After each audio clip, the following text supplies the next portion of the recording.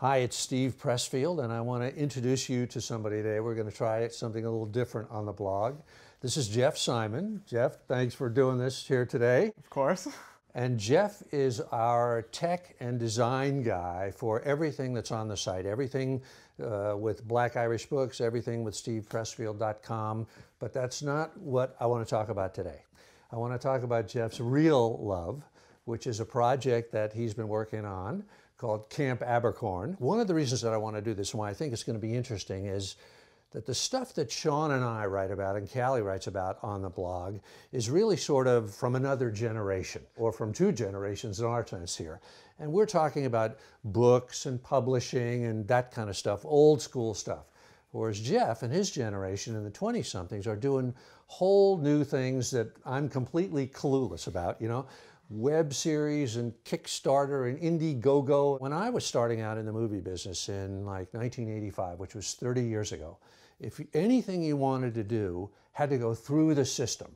You need to have a studio, you need to have mega millions of dollars of financing to do anything because you couldn't do it yourself. There was no way. But your generation, Jeff, can shoot video, shoot film, edit it, edit sound, edit music, light, direct do all, and between your team, cast, fund, do all this kind of stuff. I'm really interested to ask you these questions today because I don't know about it either, you know, and I think that I think it'll be interesting to our people on the blog what the 20 something generation is doing. So that's kind of my whole concept for what we're doing this today. So before we get in and start talking to Jeff about his background and stuff like that, I want to show you what Camp Abercorn, what Jeff's web series is about so Jeff, why don't you introduce it to the folks? What you're about to see is a trailer that we put together of what we hope Camp Abercorn, the show, will be. Here it is. A couple guys are heading down to the boathouse. You coming? What's at the boathouse?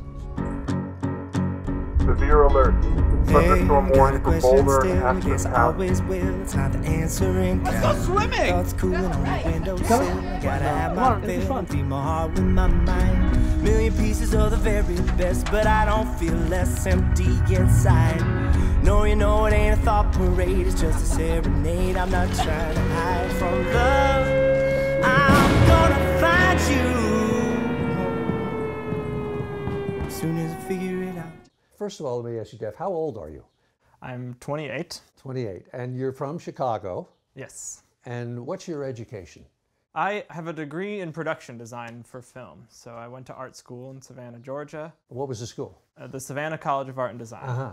And studied behind the scenes stuff, so scenery and costumes, that, that sort of thing. You were an assistant production designer on the Tom Cruise movie Edge of Tomorrow. Right. You, I know you were in London for 18 months doing that.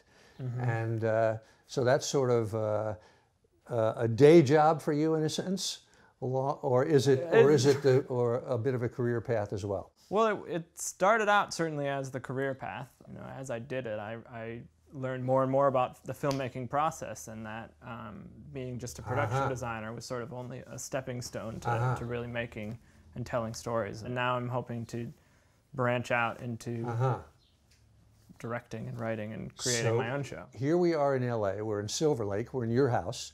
Mm-hmm. And uh, let me. When did you When did you come out to LA? I was 21, 22. 21, 22, and right out of school. Right out of school. Right out of school. Yeah.